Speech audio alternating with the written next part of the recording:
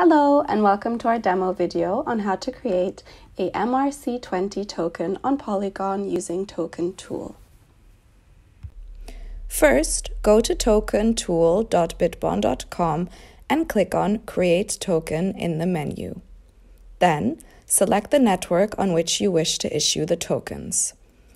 Now connect your wallet by clicking on Connect Wallet at the top right. Make sure that you are connected to the same network in your wallet. Start by filling in the required information such as token name, symbol, initial supply, and decimals. You can then select additional features enabling modifications to the token after creation. Features include can burn, which enables token burning after initial token creation to decrease supply can mint, which enables additional token minting after initial token creation to increase supply, can pause, which specifies whether your token and all associated operations can be halted and resumed whenever needed. Can blacklist, which specifies whether individual accounts, such as malicious actors, can be blacklisted after initial token creation.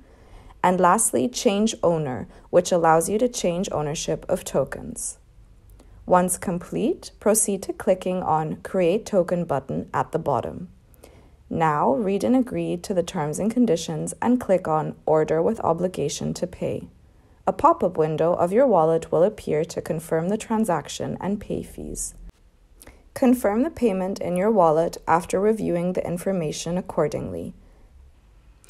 A confirmation in your wallet and on the Token Tool interface displaying the token address and token link will appear. You will also see the Add to MetaMask button. Click on it to import tokens. After clicking on Add Tokens, the tokens will appear in your wallet. Tokens are now created and automatically deployed to the network. It can take a few minutes until it appears in the Block Explorer. Thank you for watching and see you next time.